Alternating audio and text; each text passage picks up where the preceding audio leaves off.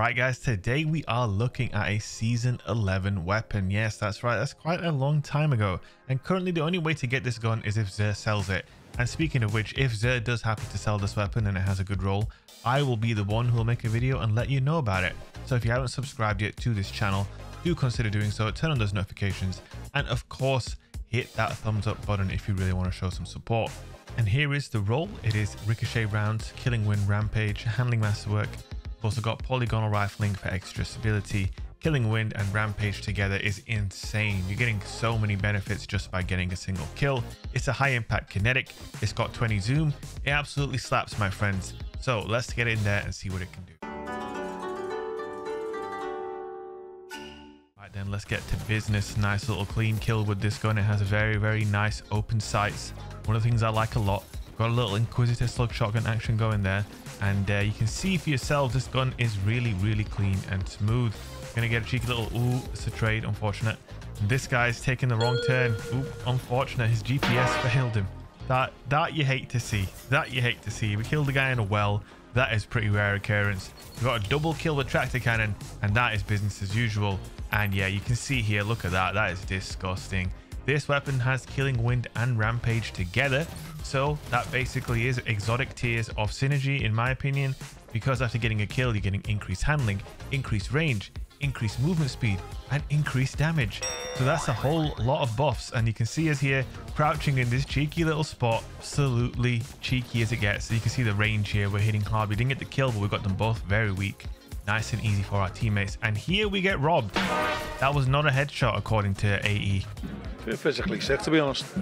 I'm, I'm rapidly falling out of love with football. Love that. Absolutely love that. But we really do love that though. Look at the range on this thing. I think the combination of the sight and the zoom. So it has a very zoomed out, like very clean mid-range sight.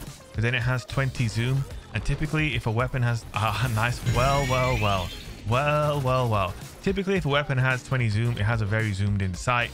This gun has the zoom, but the sight doesn't really fit the criteria, which is of course a very good thing and you're going to be very, very surprised at the kind of ranges at which you can take someone out. I mean, look at that. That sniper had to think twice, and this donkey's going to have to think twice if he can...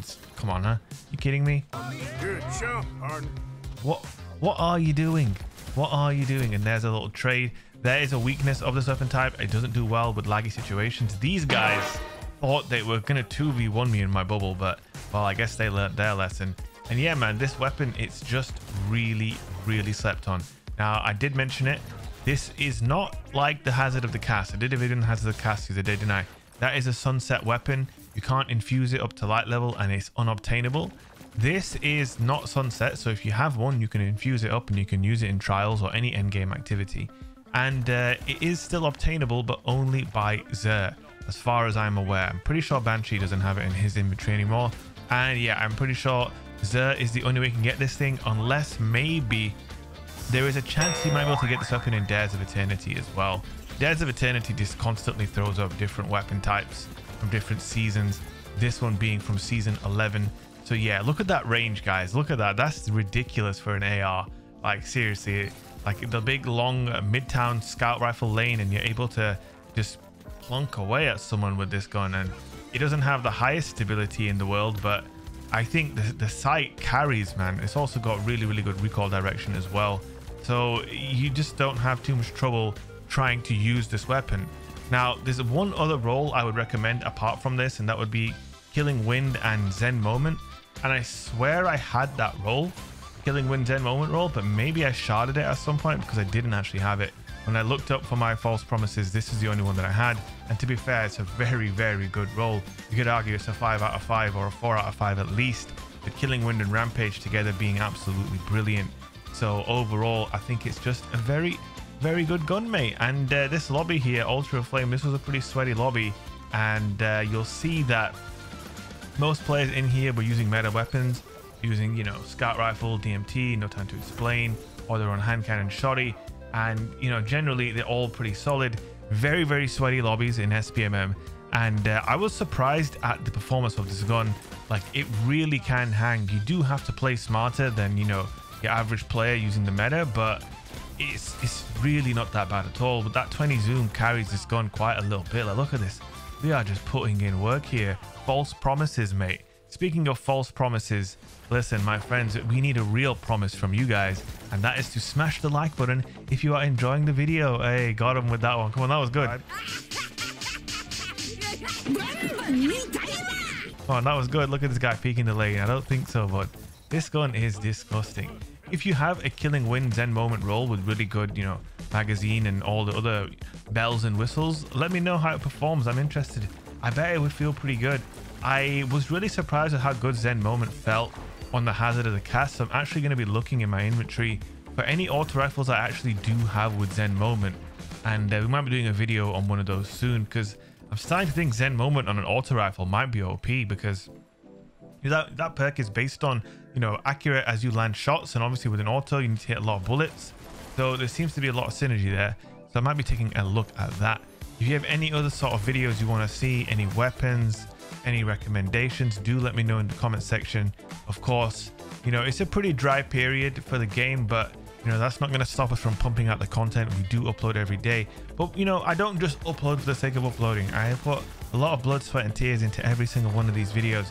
So I really do hope you guys enjoy them. Like I enjoyed shoulder charging this Disney princess in the back with his little wand, thinking he's tough. Speaking of which, though, this was one of the worst bubbles I've ever popped in my life. I just popped it in the middle of the whole team, and I'm trying to get kills with an auto rifle, and I have created literally nothing for myself. And then I get. If I speak, I am in, in big trouble. In big trouble. Yeah, well, you know, you get what you deserve sometimes. You know, you get what you deserve. This is not always like yesterday's highlight reel. By the way, if you haven't seen yesterday's video, not just saying this, I think it's one of the best videos I've made in a while and I really, really am happy with that one. So if you haven't seen yesterday's video, go and check it out. Similarly, if you haven't seen the Hazard of the Cast video, I would recommend checking that out too because it is really, really good. And uh, yeah, you can see that this gun is also pretty damn solid if you ask me. Pretty damn solid. You know what I'm saying? I don't think so, bud. I don't think so. How to use a suppressor grenade? Well, go and watch yesterday's video for that one. And in this video, I think we can all just agree that the false promises promises on its uh, it delivers on its promises. I almost got that completely mixed up there, but listen, that might happen sometimes. You know what I'm talking about. You know what I'm talking about. Anyway, that is the end of the match. It was a game of Clash, 100 to 78.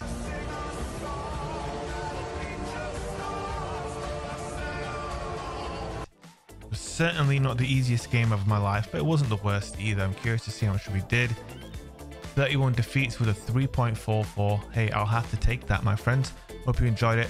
As always, don't forget to leave a like, drop a comment, and subscribe. And I will see you guys in the next video.